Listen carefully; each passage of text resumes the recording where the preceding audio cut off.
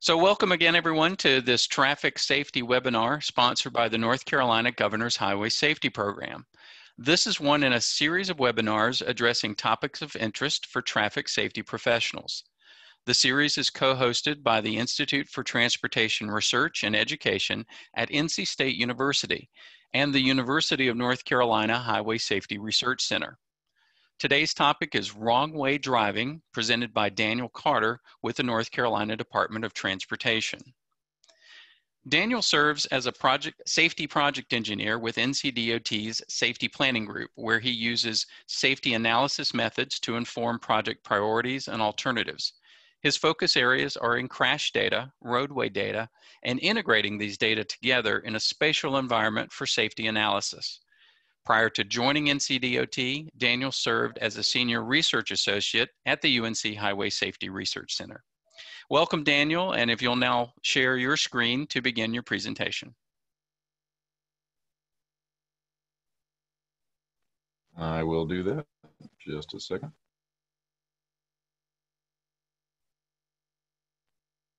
All right, we're looking good? Looking good. All right, great. Well, thank you for the uh, introduction, Eugene. Appreciate that. Uh, so I've been invited here today to talk about wrong way driving in North Carolina. Um, I have a little bit of background in this. I did some research. Uh, as Eugene mentioned, I was with UNC Highway Safety Research Center before I came to DOT. So I've done a little bit of research in this area, and, and then I now work in crash data. So I'll be presenting some some things about what we know about uh, wrong way driving crashes, uh, and then talk about strategies and you know, how how these can be addressed. I wanted to start with just an overview of wrong way crashes and just, I guess, to be super clear, what we mean is we're talking about crashes that result from someone driving the wrong way uh, against traffic and crashing with someone in that fashion. Uh, magnitude wise, we look, we're looking at about an average of 38 of these uh, per year on freeways, and that's really where I'm going to target uh, much of my discussion today is regarding freeway uh, wrong way crashes. Uh, so about 38 per year, which isn't a huge number. It's a, it's a fairly rare crash type. Um, you know, 0.01% of the total crash picture in North Carolina. A little higher than that, 0.2% of freeway crashes. Uh, but they are serious, and you can see that in those percentages that it's 0.4% uh, of fatal crashes, but it's almost 6.5% of the freeway fatalities. And so, uh, you know, when we look at freeways specifically, uh, they are not an insignificant portion of, of our, unfortunately, our fatalities on freeways. I've got a breakdown there about the severity. Uh, of course, as you might imagine, these are severe when they happen. About a fifth of them are fatal, result in at least one fatality. Uh, and then about half of them result in some kind of injury if they don't result in a fatality. The characteristics of these crashes, um, I can kind of sum it up here in a few different ways. About half occur uh, really in the middle of the night between five, uh, between midnight and 5 a.m 60% on weekends. So you can kind of start to see the picture of how these crashes usually happen. And about half, and a very significant portion there, half of them are, are related to alcohol. Uh, and that really is, I would say, the, the kind of typical wrong way crash is, is going to be uh, alcohol involved and it's going to be at night. And of course, there are a lot of other types that could do occur, but, but the main typical crash is that. Um, based on our crash data, we see about 20, 20% involve a driver who's 65 years of age and above, and uh, uh, that we, that's a sort of a standard uh, statistic we throw into different types of analyses. Um, that is proportionally representative of the driving population there. Uh, and I think you know sometimes there's a, there's discussion and, and, and some uh, analysis of wrong way crashes to see is there uh, an issue due to a much older driver, maybe some disorientation or something like that.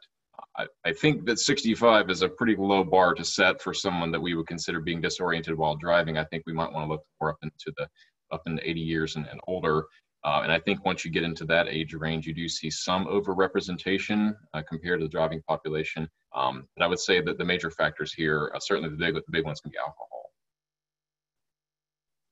So, you know, while we're talking about this in the area I work in, traffic safety, uh, we look to see how can we address crashes in general, and specifically here wrong way crashes.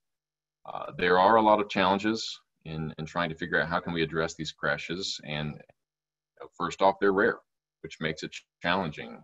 there aren't many to go on to determine things like patterns, uh, both of the type of crash that's occurring and, and uh, addition where it's occurring. Uh, so the rarity is a difficulty. Uh, the other big factor here is that it's hard to identify where someone started the wrong way movement. Where did they get onto the freeway going the wrong way? So that entry location is extremely difficult uh, to pinpoint. Uh, drivers can drive miles in the wrong direction before having a crash. In fact, I was I was on a webinar, hearing a presentation a few years ago, and someone showed they had um, I think it was in Texas. They had tracked after the driver had gotten into a crash. They used cameras and went back and tracked where they had come from, and it turned out they had driven something like 20 plus miles in the wrong way on the freeway before colliding if you think about you know these crashes typically occurring in the late hours of the night there's not a lot of traffic on the road and so uh, both uh, someone can go down the road without hitting someone for quite a ways. And then if they are cognizant enough to, to see visual cues they're not going to be seeing a lot of visual feedback of traffic going you know opposite to them. Um, so identifying the entry point uh, it's a big issue uh, like i said i did some research in this area i looked at about 120 wrong way crashes, and I was only able to pinpoint with any kind of reasonable assumptions where the person that I got on and about 20. Uh, and most of those were because they crashed right there at the ramp, and so it was sort of obvious. That's a big issue when we try to you know try to say where these are occurring, that kind of thing. Uh, we do know, I have some sense that there are an, some number of wrong way driving incidents, someone going the wrong way, that don't result in a crash. Uh, we've done a little bit of uh, videoing of exit ramps as they go onto the cross street to see where are, are people coming down this exit ramp.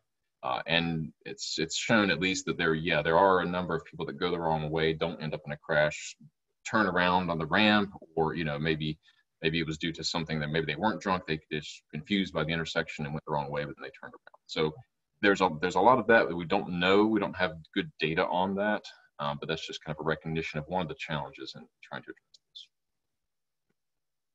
I, I, have to bring this up because it was something that occurred very recently, just a few days ago. Uh, this trooper, Jessica Schaub, out in Washington State, uh, big, big hats off to her. So uh, she was involved uh, in addressing a wrong way crash that was in, or a wrong way driving that was in the midst of, happening.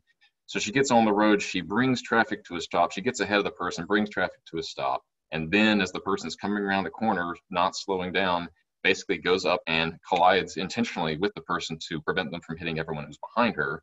Uh, you gotta love this though. She then climbs out of her window uh, because the door is smashed up and goes to attend to the wrong way driver to see if he or she's okay. So big hats off to Trooper Jessica, Trooper Jessica Schaub out in Washington State.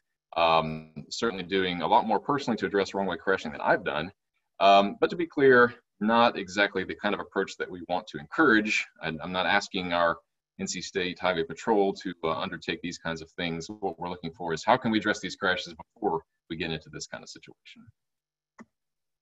So what I'll be focusing on is not something nearly that dramatic, um, but rather engineering strategies, and in particular low cost engineering strategies. And this is something that is resulting, uh, this series of slides I'll present is really coming from a toolbox of strategies that I put together as part of the research I'd done before uh, to look at low cost engineering strategies. And so I'll talk through signing, marking, and geometric design strategies. Um, I put the link there in the PowerPoint in case this is uh, put out later and you want to follow that link and see that toolbox in more detail and that sort of.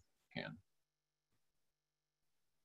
So let's go through these, um, talk, talk through each one of these in, let's start with the signs category. And of course, uh, the sign you've all probably seen as you've driven on the roads is the wrong way sign. Uh, so this is um, in the MUTCD is a supplement to the do not enter signs and it's positioned farther away from the road to catch someone down the ramp. Uh, and I'll try to have some example photos of each one of these. This is actually from uh, interchange out there at US uh, 52. Uh, the next strategy is lowering the wrong way signs. And so this is something, uh, the, the reasoning behind this is some research showing that older drivers and impaired drivers tend to have their vision directed lower and more at the roadway surface for visual cues. Uh, and so the idea behind this strategy is to put that do not enter that wrong way sign more into that field of, of vision. Um, so that's that's the thought behind this. Um, do consider uh, the potential for visual obstructions if you're in an area where you have parked vehicles on the street, maybe vegetation. Uh, some states have mentioned the, the concern with uh, mounds of snow, which typically is not a problem in North Carolina unless you're out in the mountain regions. Um, but for most of the state, probably not an issue. But you know, consider some of these issues if you're going to be trying this strategy. Uh, reflective strips uh, on the post of the wrong way sign is another strategy that can be done. Uh, this is an example from uh, I-40 uh, near Chapel Hill, uh, basically to enhance the visibility, the conspicuity of that wrong way sign. So it's a, about a two inch wide red strip, reflective material going from the sign to pretty close to the ground. Um, just to put that out there. And this sign is not in the middle of the field as it looks like. I just did a some kind of weird cropping and took the roadway entirely out of that. We do put them near the road.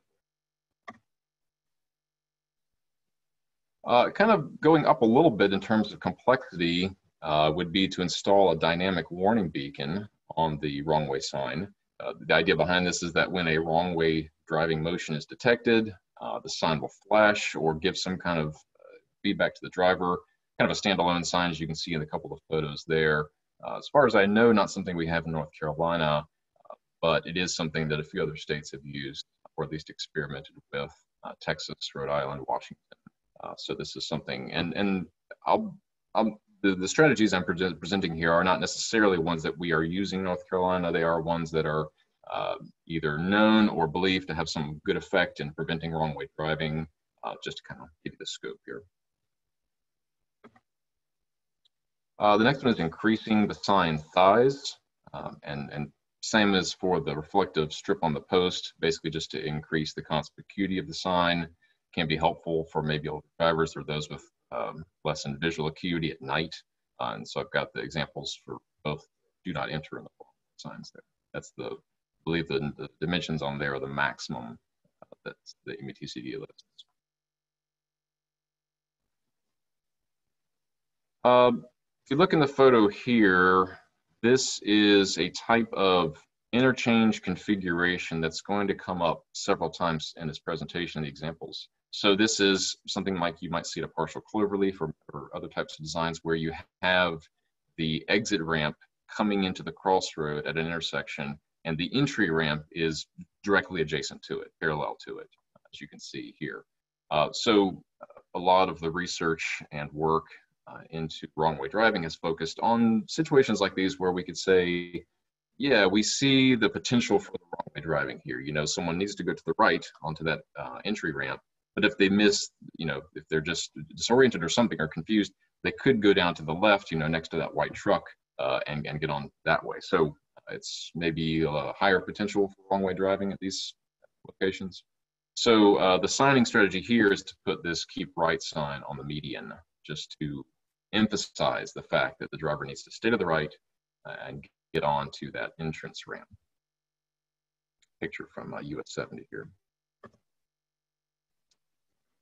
Uh, another signing strategy is turn prohibition signs. And these are these are used around North Carolina. This is from Durham here. Um, and so basically, if you have a, a, situation where there's there's an exit ramp coming into the cross street, uh, and it's only the exit ramp. Somebody should should not turn onto that at all. Putting these either no left turn or no right turn, depending which direction you're coming, uh, to warn drivers away from going into that area. Depending on what the intersection looks like, it could be placed on the corner, on a post, uh, could be in the median on a post, or it could be, as is shown here, up on a next to the signal head.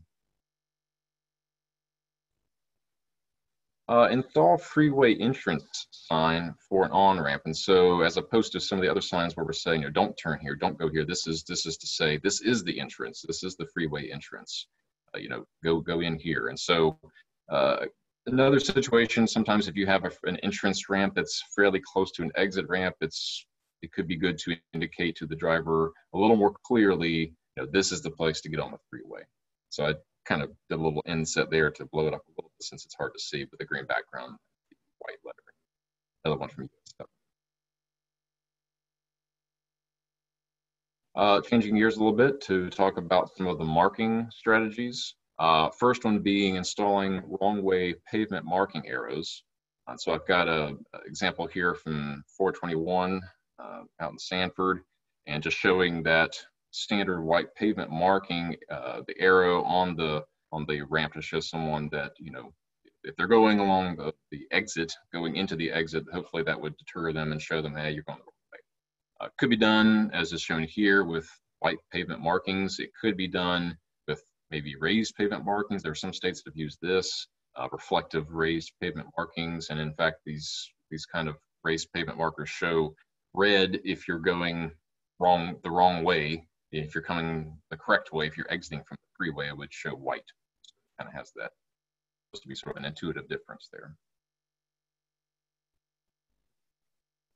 Another marking strategy is to put in the lane line extensions for turning traffic or rabbit trails or however you want to call them. Um, and basically, if again, you see the situation here where we have the exit ramp coming into the cross street right next to where the entrance ramp is. And so the idea again is someone's turning left, and it just helps guide them into the place that they should be entering the freeway and with that going into the exit.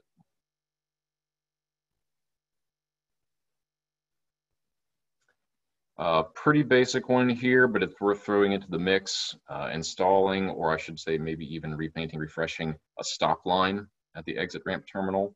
Uh, so uh, you see the same situation again here, exit and entrance right next to each other. And so if you have the stop bar at the exit, you know, that's just an additional visual cue to someone, uh, you know, don't cross this, don't go in this way, go into the way that doesn't. So, uh, you know, it's obviously needed for other reasons uh, for, for people who are coming out the exit and stopping there, uh, but this could just be another point in the column of keeping the pavement markings in good condition. Uh, along a similar line, again, trying to make sure someone understands which is the exit, which is the entrance, and making sure they go to the right. Um, if you have a median that's dividing those, as you see here in this picture, uh, providing some good deline or, yeah, delineation around the median to just enhance the visibility of it. So this one actually has that keep right sign. It's got a kind of chevron marking there, and then also has a maybe somewhat faded at this point. Um, time this picture was taken, marking going around the median just to help it stand out more.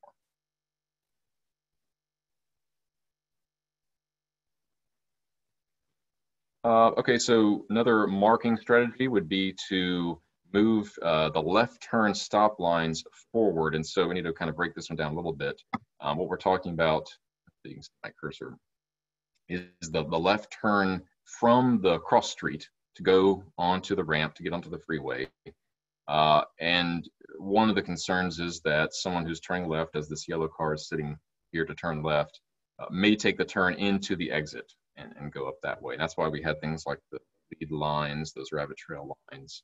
Uh, but another way of kind of trying to reduce the chances of that happening would be to take that stop bar, remove it as far forward as possible. I know there are a lot of other constraints with you know, the geometric design of the intersection, the signal control, whatever else is going on there, crosswalks and such. But just keeping it as close to uh, essentially the center of the intersection as you can will hopefully decrease the chance that someone might turn, you know, kind of pull their turn short and go into the exit lane. Uh, in a similar vein, installing a channelized island and we, on an exit ramp and so we see here, this is an exit ramp coming into the cross street and it kind of splits uh, for traffic that's turning left as opposed to traffic that's turning right. And if you can imagine, if that pork chop island there were not there, you would have a pretty wide expanse of pavement, all of it being the exit ramp. So obviously someone should not turn into that. Um, but the thinking is, you know, wide expanse of pavement, more inviting for drivers to turn into or less of a deterrent, I'd say. So putting the channelizing island there essentially just breaks it up, narrows the effective width of where someone could turn into that exit lane and hopefully deter those wrong way motions. And just, you know, to kind of emphasize the point, making sure that it's visible, has delineation or whatever else could be added to that to make sure it's visible to drivers high enough, you know, kind of off the surface, that kind of Uh, okay, so then the third category from this toolbox is geometric design. So what could be done in terms of the design of the ramp terminal intersection to discourage left uh, wrong way motions. So kind of going back to that left turn issue, if we have vehicles, drivers here on the cross street, they're queued up, they're waiting to turn left to get on the freeway. And again, we don't want them to pull that turn short and go into the exit. We want them to take it on around the median, get into the entrance lane. And so having uh, a median right next to them on the cross street essentially just makes it more difficult geometrically to make that sharp turn and go into the exit lane. And so there's a few strategies related to kind of discouraging this left turn, you know, into the wrong uh, place, into the exit lane. Example off of uh, I-77 at US 21 here. So kind of pivoting 180 degrees, we talked about left turners from the cross street. So now let's talk about right turners from the cross street. Got a portion of a diamond interchange here, actually not from North Carolina in this case, just an example from one of the research reports. Uh, but pretty typical, I would say, for a lot of places that we have, uh, where we have the exit ramp there on the right coming into the cross street and the entrance at the left. So someone coming along northwards or up in this picture, um, we want to discourage them from turning right into that exit ramp. And so keeping that corner there, and you can tell it's pretty sharp, pretty small radius on that corner. Uh, that's the idea is to use the geometrics of the corner to at least discourage or, or not uh, be tempting to make that turn right into the exit ramp. And depending on and we don't see a crosswalk here but i will say you know this is also a strategy that comes up when we talk about pedestrian safety and that sort of thing uh, because when you have smaller corner radii you can have a shorter crossing distance. We don't see a sidewalk and a crosswalk on this one but you know depending on where you're at that could be something you want to plan for as well Uh, this example here looks at retracting median barrier between entrance and exit ramps. So we're back to the situation where we have exit and entrance ramps directly adjacent to each other coming into the cross street. Uh, and again, we want to make sure that someone knows to turn into the, the far right, the, the entrance side of it. Uh, in this example, uh, you can see there's this W cross section guardrail kind of coming all the way up almost to the nose of the median. And the concern is that it could just obstruct, visually obstruct the person from seeing that there's an entrance ramp on the right side of that. And so bring, pulling that back as much as possible, you know, lowering the visual obstructions, allowing someone to see clearly there's an entrance ramp over here. Uh, the other thing that I don't, I don't have a good example photo of this, but another thing that you can also bring into this would be making sure that your street lighting follows this same principle. And so, you know, hopefully you don't have a situation where you've got a street light on the left that's clearly illuminating that exit ramp coming in and not on the right. So even just with the lighting itself, you might be tempting someone to go left and go into the exit ramp. You want to make sure that entrance is well another geometric design. And we're kind of moving a little bit out of the low cost uh, category on this one, but I thought it was a good one to put in here. It is something that is being used in various states, and, and we have it here as well. This is an example from uh, um, US 1 and 501 in Sanford, putting a roundabout at the ramp terminal, uh, certainly something that's become more uh, typical in North Carolina designs using roundabouts. And in particular, we've got several interchanges going in uh, that have roundabouts where the cross street, where the ramps come into the cross street. Uh, and so I like this one a lot because um, I believe in concrete. I believe in clear, positive guidance to drivers. And so as the driver's going around the roundabout, uh, it really makes it difficult to uh, go the wrong way and go up the exit ramp. You have to pull a pretty sharp to do that. So, um, you know, using the geometrics of the roundabout um, to, you know, in addition to other safety benefits that we do see from roundabouts, independent of I think this is just another point in the category, or sort of in the column, in the positive column of using roundabouts in this situation. It does deter the collisions. Um, so moving off that toolbox, I just wanted to mention one uh, sort of a new uh, sign type that is being tested in North Carolina. Uh, and I, I've got the on the on the road shot here of looking down the exit of a particular interchange uh, in Guilford County and a bit of a blow up on the right hand side to show you what that sign is since you can't see it very well. But it's a sign that says turn around. It's got a yellow background and kind of a, a black and yellow border. Uh, so this is something that, that we're using uh, in a few locations right now, uh, basically again to kind of accompany the, the wrong way signs and such to let someone know that they're going down the wrong way to turn around.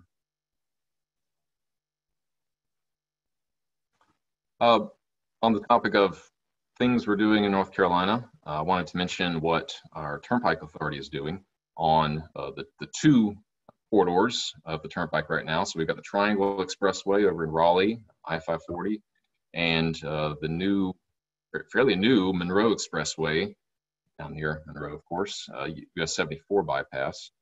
Uh, these roads have a lot of technology on them, of course, for the toll collection, but they've really uh, implemented a lot of detection technology, and in doing so, they've allowed this opportunity for doing wrong way detection, uh, which is very cool and something that's uh, that's being used to see if they can, um, you know, prevent or respond to wrong way incidents. And just kind of an overview of what they're doing on uh, this is on particular on the Monroe Expressway, the newer one uh, when they detect a wrong way driver, and this is using loop detectors and their toll zones to detect a motion going the wrong way. Um, there are signs that, that light up to alert the driver right there in the moment at the location. Uh, there's also notifications sent to a control room uh, via email and some alerts that come up. Uh, so then operators can respond to that to review, look at the video and make sure, yes, this is a wrong way motion where is it happening, what kind of vehicle is it, uh, because then what they want to do is, if it is driving, as quick as possible, pass it on to the highway patrol so that they can dispatch someone to respond to that. Uh, so this is a, a, relatively new. I think it's been running for a, a year or maybe a little bit more. Uh, this system, and so uh, I think I've got it mentioned here. There is a research project going on right now led by ITRE out of NC State uh, to evaluate that uh, wrong way detection program and look at ways that it's that it's working and any ways that it could even work better. And so that's a research project that's currently going on, um, scheduled for completion early next year. On the topic of research, there are a few things going on on the national level. Uh, this is something that has been a topic of conversation uh, in, in, various states. Uh, in particular, Texas has had a pretty strong lead in this, Illinois, Rhode Island, a few others. So NCHRP, which is the National Cooperative Highway Research Program, essentially it's the research arm of the state DOTs pooling their money together. Uh, there was a report that came out a couple years ago uh, as a result of one of the research projects on this, which was traffic control devices. Uh, and so I've got a link there for where you can find that report that is finished and free, freely available.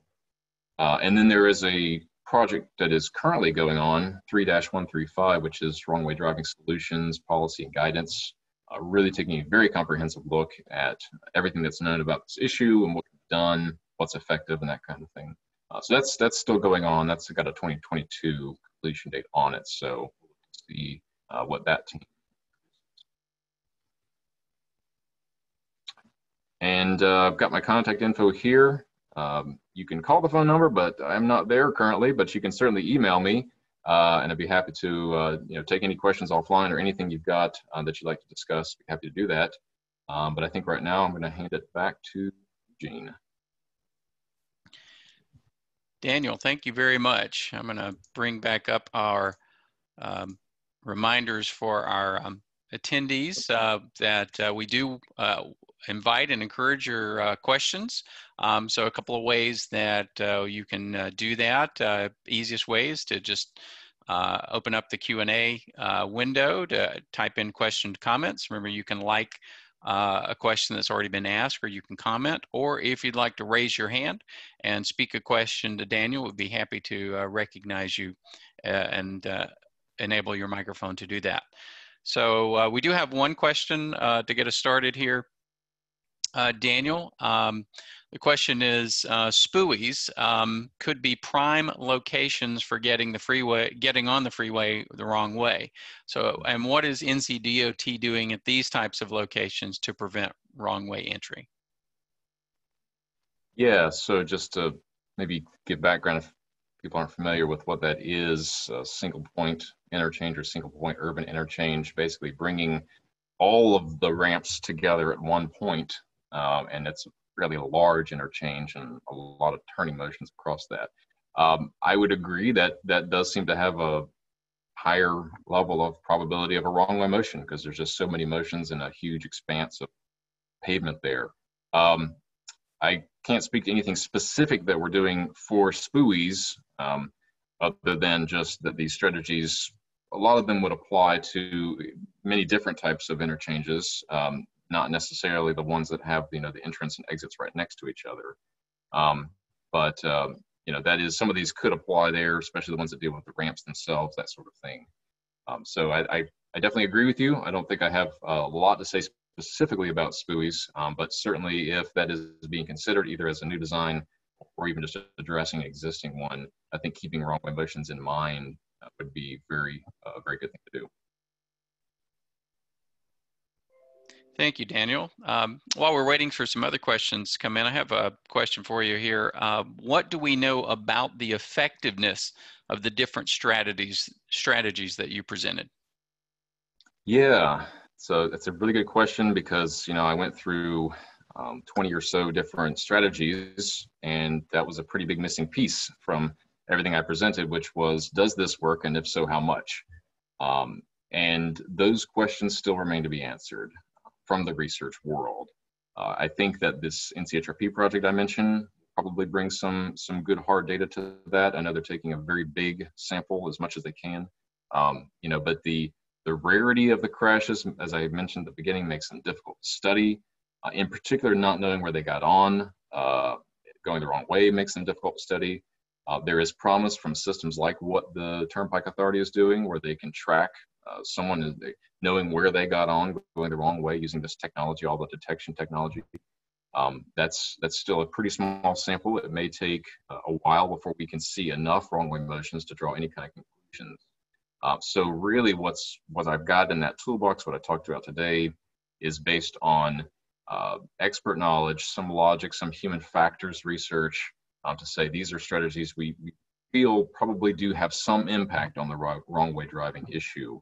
Uh, and being low cost, hopefully that makes them you know easier to implement, easier to, to get funded and that kind of Thank you, Daniel. We have another question that's come in. Do you know the cost of the 38 wrong way yearly North Carolina incidents and a cost comparison for strategy interventions? Hmm. Uh, yeah, uh, really good question. So you're looking, I mean, the question is really kind of revolving around the benefit cost. Um, if you were to put in signs and markings and that sort of thing, that comes with a cost, but then you're hopefully preventing some wrong way crashes. And so essentially what, you know, what are you gaining? Uh, and we do have, um, in NCDOT, we do have monetary values we assign to crashes that are prevented. So if you prevent a very serious crash, you've sort of um, realized a larger monetary benefit, economically speaking, than maybe just preventing a fender bender. Uh, I don't have that the information at my fingertips. I'll tell you that right now. Um, they are serious crashes. They're going to be they're going to be higher value if you, you know kind of think about it in that way. Uh, so preventing those serious crashes would would carry with it a higher benefit amount. Um, it, it might be tough at this point to really run a benefit cost calculation without some pretty major assumptions. Um, just, just to speak frankly, you know, if we say we want to put this sign, this marking, and, and do this median, and we think we can prevent, you know, two wrong way crashes over the next five years, uh, you can go forward with the benefit cost calculation that that, um, that will be based on an assumption, you know, that, that you're, what you've done is going to prevent those or that that many would happen. Um, but uh, that is absolutely the good way to go in terms of when you're thinking about what kinds of safety benefits you can realize. Um, but yeah, I, I, don't have those kind of numbers right offhand. Thank you, Daniel. Uh, another question that's come in. Do you have data for how many wrong way turns are from left turns versus right turns onto an exit ramp? Uh, I wish I did. It, it's, uh, again, knowing what happened is the biggest drawback we have right now in trying to address wrong way crashes. Uh, so, you know, we don't even know where they're getting on. Um, definitely don't know kind of what happened there, except in certain situations, there are a few places that we've actually run some video, some continuous video uh, and we've gotten to see the wrong way movements happening. That's a pretty small sample. Uh, you know, it allows us to see something, but not necessarily representative of, you know, going for the kind of question that you've got there, which is a really good question. Um, so yeah, unfortunately, no. Uh, hopefully, as we move into more detection, more instrumentation on the road, maybe, um, or uh, and this is kind of a change of, of gears a little bit, but you know, getting information from the vehicles themselves. If we move toward a more connected vehicle world, maybe we can start to answer some of those questions. Thank you, Daniel. Uh, Tracy, let me recognize you. You've posted a link in the chat window for folks. Yep. Yeah, this is just a general uh, NCDOT crash costs um, from 2016. Um, looking at it, there, it doesn't I don't think it breaks it down into wrong way movements, uh, but it's still useful information for cost per crash. Yeah, I think we've got one that's dated 2018. There might be an update to that. Uh, I don't know where that link is offhand, but I do know that there is, I believe, one update since the 2016 numbers. Okay, thank you for posting that link. Uh, Daniel, another question I have is uh, is North Carolina going to widely implement a detection system that would alert control centers and law enforcement? Hmm. So, you know, this this idea stems from some places that have done that, at least in a uh, on one corridor. Uh, San Antonio, Texas, did this for a corridor down there. Uh, a very um, instrumented and de detection-oriented system, much like what the Monroe Expressway has. Uh, as far as I know, there's no plans to do that um, on any other roads that besides the the Turnpike uh, expressways right now. Um, you know, right now what we're looking to do is kind of use some of these low cost measures, things that can be done uh, either as retrofits or in the building of new projects, keeping these things in mind. Um, so we'll, we'll look to see what the what Monroe Expressway produces. Okay, another question that's come in. Have the warning signs at North Carolina 147 actually deterred any wrong way drivers? I, I can't speak to that one specifically because I'm not sure if we run video out in that area. Uh, my colleague Chris Oliver is the one that's been kind of heading that up, so I haven't been directly involved. Um, that would be the only way I would say we could probably answer that question is if we have video that was running and do some kind of before and after. So yeah, I'm sorry, I can't answer that one directly right now. Okay, thank you, Daniel. Um, another question that I have, and I guess again a reminder, folks, if you've got some additional questions for Daniel, um, please uh, let us know by the Q&A window or raise your hand. Um, Daniel, what about using directional spike strips on ramps to prevent wrong way driving? Yeah, this is this is one that comes up uh, a lot of times. So you know, what we're talking about here is uh, if you've been to an airport parking lot, uh, you know, the spikes that you roll over that kind of go down if you're going the right way, but if you try to go the other way, they rip your tires up. Um, a lot of speculation through the years that maybe this is something that would that would work. Uh, you know, disallow someone from going the wrong way down an exit ramp. We put these spikes out there. Um, the issue is that those are intended to work at very low speeds, which is you know, airport parking lot. Um, if they were implemented in a place where you're going to see much higher speeds, like a freeway ramp, uh, you would have a lot more issues and concerns with what other hazards might result from a vehicle going much faster over those than was intended. Is the vehicle going to go out of control, cause other problems, other hazards on the road? Uh, so they're they're not intended for that use. It's not something that would work you know, for this problem. Okay, thank you, Daniel. Uh, we have no more questions waiting in the queue, um, but we do have a few additional minutes, Daniel. So while we're waiting for any other questions to come in, do you have any final uh, remarks you would uh, want to add to your presentation? Uh, I would say just this is uh, something to keep in mind uh, when looking to design new interchanges, new ramp terminal intersections. it's part of the picture of, of things to consider. That I know there's a lot of things to consider when you're designing those intersections. Um, but certainly keep in mind uh, the wrong way movements and take some low hanging fruit maybe during that project development process to try to head those off or at least decrease potential for wrong way movements.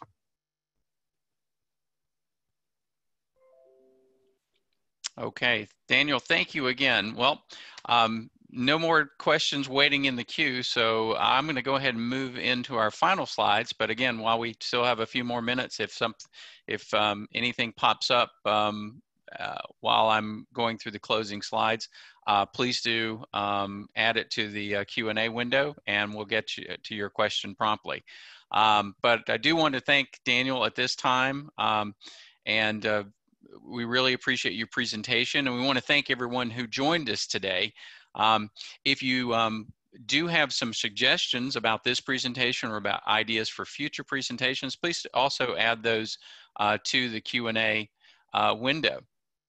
And um, and I, will actually pause here because we did have a another question just pop in. Uh, so we'll take that. Uh, Daniel, the question is, what further research do you recommend for North Carolina? Uh, I think we're, we're on a good track right now to see what we can learn from the Monroe Express, Expressway uh, experience and the fact that they have detectors that can uh, see where the driver got on uh, and you know, kind of pinpoint that way. It's a pretty limited number of miles in terms of a safety study. Um, so I think it's going to be a while maybe before we can get a really good sample size out of that. Uh, I would say probably maybe the the next the next lowest hanging fruit might be to do the kind of thing that NCDOT has started in on, uh, which is the the filming, continuous filming of locations, maybe locations that are known to have some higher incident of wrong way driving, and try to sort of you know, as one person asked, is it more left turning? Is it right turning? Uh, try to typify those motions and see if there's one or two characteristics that come out, maybe that could be addressed. Um, I think that would be a good way to go. Daniel, thank you. Uh, uh, oh, the question is, was this videotaped or will the slides be available? Yes, um, uh, it is being recorded and we will make the link to uh, today's recording available to you as soon as it's ready. Uh, we'll send out a follow-up email. Um, and um, Daniel, uh, will you be okay if the PDF of the slides are made available online for download? Yeah, yeah, that's, that's fine. All right. So we will make the slides available uh, as well. So thank you for that question. Any final questions before we close out our presentation today? So again, uh, use the Q&A window um, to uh, add those questions and again, to share any uh, ideas you have for future uh, webinar topics. We really uh, appreciate you uh, participating in today's series and we'd love to um, find opportunities to uh, develop other webinars on topics that may interest you. Um, again, as I mentioned, we will be doing a follow-up email uh, afterwards uh, with the recording link. Uh, so you'll have a chance if you missed any part of this presentation to watch it in its entirety. Um, uh, if you are a PE and you are attending the live webinar, not watching the recording, um, you will receive a certificate uh, for one PDH credit. Um, if you're not a PE, but you also are participating in the live webinar and you would like that certificate uh, for your training records, we'll be happy to pro provide that. If you'll just simply reply to the follow-up e email that you received and request that certificate, we'll be happy to provide that. But uh, PEs, if you indicated when you registered that you are uh, a PE, we'll send that PDH, that uh, certificate to you automatically. And again, I'll pause here for uh, just a moment, Daniel, to take in um, one additional comment here. Bear with me while I uh, read this. It says, when it comes to, when it comes time to design the freeway management systems, which have been funded for some triangle area freeways, so we're talking about the research triangle of North Carolina, there may be opportunities to look at what detection or alerts for wrong way drivers can be included. It's anticipated that there will already be some detection on the off ramps for other purposes. And this comes, uh, this comment comes from David Kielson. Daniel, you have anything to add or, to that? Uh, I, I love to see this kind of thing where we're sharing ideas and, and knowledge about what's going on and where we can look for opportunities to, to work together. So that's a great comment from David. And it looks like maybe he's involved in this kind of thing and so just keeping that in mind that you know it might be some good interplay to determine you know wrong way motions as a part of that detection system is really good. I would encourage you maybe to talk with the turnpike authority uh, and and you know the lessons they've learned from how to implement that kind of detection uh, and alerts and, and, notifications and that kind of thing. So um, yeah great. David thanks for that out there. Yes, David, thank you very much for that uh, helpful comment. Again, uh, feel free to open up Q&A and uh, ask some more questions while we have some additional time. I'll uh, continue my uh, final slides here. Uh, there is more training available. We've got some other webinars coming up in the future. So we absolutely encourage you to participate in those at this link on that you see here on the screen. And um, uh, you just visit that uh, link and you'll get a list of all the, of our upcoming webinars. At the same website, you'll also find information about the next North Carolina Traffic Safety Conference and Expo. This series of webinars is being sponsored by the North Carolina Traffic Safety Conference. Uh, our next conference will be in 2021 in August and you'll find details at this website. Uh, we certainly hope uh, you'll attend the conference. Uh, and uh, we also invite you to propose on topics for presentation at that conference. There's a link on the website uh, for presentation proposals, and you can simply follow that link on the website and submit your ideas. So Daniel, I uh, don't see no additional questions waiting in the queue. So one final thank you to you, sir, and thank you for everyone for participating in today's webinar. We hope to see you back here again in the future. And until then, goodbye for now.